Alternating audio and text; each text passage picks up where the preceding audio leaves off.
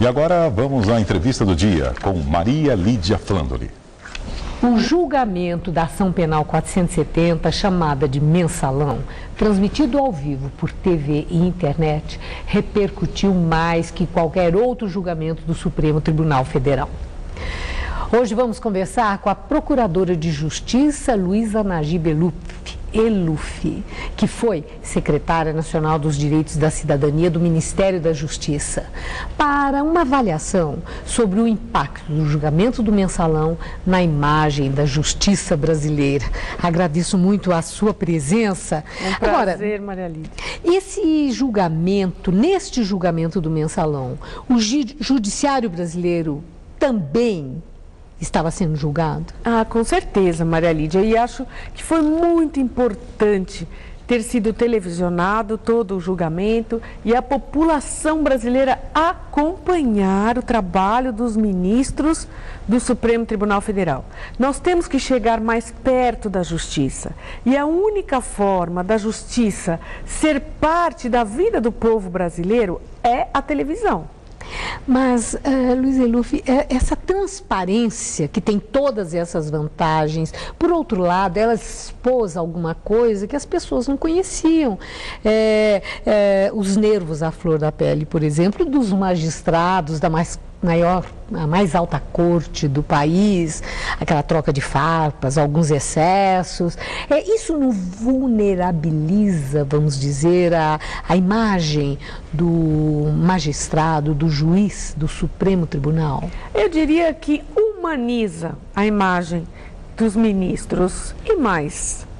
Coloca o ministro como, além de um ser humano, mas é, como uma pessoa que tem ideias próprias e nem sempre essas ideias serão as mesmas do seu colega, o outro ministro ou a ministra. E eu acho isso fundamental para que o nosso povo compreenda como funciona a justiça, porque nós conhecemos muito da justiça americana por causa dos filmes mas conhecemos muito pouco da justiça brasileira. Nós no Brasil nunca vimos um julgamento pelo júri na televisão e eu acho que isso deveria acontecer também. Deveriam filmar os casos de grande repercussão. Por que não? Se o julgamento é público. E exatamente nessa questão do julgamento público, as críticas que foram feitas também foram amplamente divulgadas. E é, amigos dos réus condenados, parceiros políticos, fizeram advogados de defesa, fizeram, e os próprios réus, duras críticas à condução do julgamento. Então, o julgamento foi chamado de julgamento de exceção, de tribunal político. E a, a, a indagação é, em algum momento, na condução desse julgamento, é, você observou um, que tenha havido um atentado contra a democracia ou feriu a nossa Constituição? Não, de forma alguma. Muito pelo contrário, eu acho que esse julgamento foi um julgamento técnico, também um pouco político, Maria Lídia, porque nós não escapamos da política. Ela está em todas as instâncias e também no judiciário. Porque não uma política partidária, mas a política no, no seu sentido amplo. É uma ciência a política. E ela envolve todas as relações sociais. Mas eu acredito que foi muito importante para o Brasil, porque este julgamento devolveu a credibilidade ao judiciário, aproximou o judiciário do povo e, acima de tudo, mostrou que todos são iguais perante a lei, que mesmo pessoas de poder estão sujeitas às penas da lei se não agirem de forma correta, da forma ética que deveriam agir. E eu acredito que depois desse julgamento, o Brasil vai ser outro país. Quer dizer que acredita mesmo que possa inibir ah, essa desfaçatez com que há a corrupção na administração pública, desvio de dinheiro público. É incrível como nós ouvimos com tanta frequência. Milhões, a expressão milhões, assim, ficou banalizada. Parece que é pouco dinheiro, mas é muito dinheiro, dinheiro público.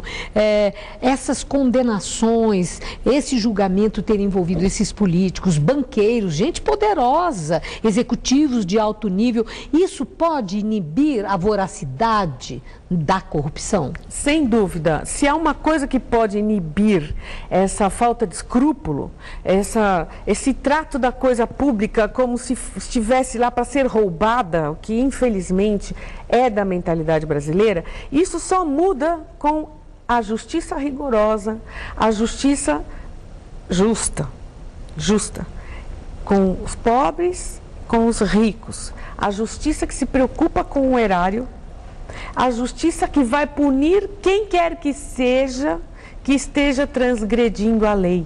E isso vai sim inibir novos saques aos cofres públicos. Eu acredito que esta é a única esperança para o Brasil. A questão política, que foi mencionada agora há pouco. No judiciário, né, parece que existe aí quase que uma promiscuidade em relação à política, principalmente nos tribunais superiores, considerando que as indicações são políticas. Né? É, é, incrível saber que um magistrado que está lá bateu de porta em porta para pedir apoio e, e, quando referiam ao julgamento do mensalão, ele ter dito essa eu mato no peito. Né? Que, e passando uma ideia, que ideia? Cada um interpretou a seu modo, mas foi dito. É. Foi dito. Então, é, é, o julgamento do mensalão expôs quem se manteve independente, não obstante a indicação política do chefe do executivo, do presidente, quando condenou, e quem se manteve também subserviente, é, esse julgamento exibiu isso para quem assistiu e acompanhou? É, com certeza sim. É, nós sabemos que a forma de escolha dos ministros do Supremo Tribunal Federal é política. Então o ministro ele tem que pedir só que depois que ele assume o cargo, a situação fica diferente, porque ele tem vitalicidade. Enquanto ele viver, ele não perde o cargo, só vai perder na aposentadoria compulsória aos 70 anos. Então ele é obrigado a se aposentar. Mas fora disso, ele decide como quiser, ele tem independência e segurança para proferir decisões sem que o seu cargo esteja em jogo. Então, muitas vezes eu penso, é uma forma desagradável de, de atingir o cargo de ministro, essa de você sair de chapéu na mão pedindo indicações de políticos. Por outro lado, quando o indicado realmente é firme nas suas convicções, ele não fica devendo nada para ninguém e ele pode agir de forma independente. Nós vimos o ministro Joaquim Barbosa que, que se transformou no grande herói do Brasil. E por quê? Porque ele teve coragem. Mas muita gente achou, tanto pessoas é, entenderam que realmente ele teve muita coragem na sua firmeza, como houve acusação de um próprio colega que ele atuava como promotor como um representante do Ministério Público e não como magistrado, alguém que estava julgando.